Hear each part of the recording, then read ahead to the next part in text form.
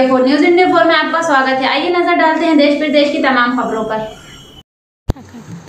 भिंड ज़िले से बड़ी खबर, तेल व्यापारी की बाइक से जाते समय रास्ते में धारदार हथियार एवं गोली मारकर की गई हत्या।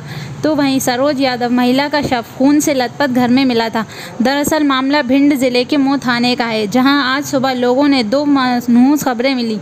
जिसमें एक बाइक सवार हरिओम अग्रवाल जो कि तेल व्यापारी था और तेल मिल पर जा रहा था तभी रास्ते में बदमाशों ने धारदार हथियार एवं गोली मारकर उसकी हत्या कर दी।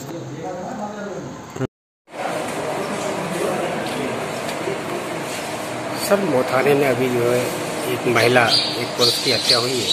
इसके बारे में थोड़ा ये मऊ थाने अंतर्गत वार्ड नंबर आठ में एक महिला सरोज यादव और व्यक्ति है हरिओम अग्रवाल इन दोनों की जो है गन शॉट से हत्या हुई है और कुलाड़ी से भी इन पर हमला किया गया है।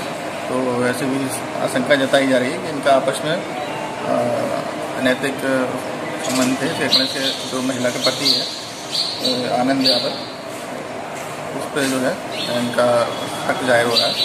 तो तभी एफ़ की जा रही है और विवेचना में आगे कार्रवाई की जा रही है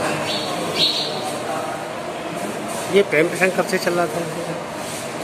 ये अभी लोग बता रहे हैं कि क्या काफ़ी हमारे न्यूज़ इंडिया फोर चैनल पर बने रहने के लिए हमारे चैनल को लाइक करें शेयर करें और सब्सक्राइब करें।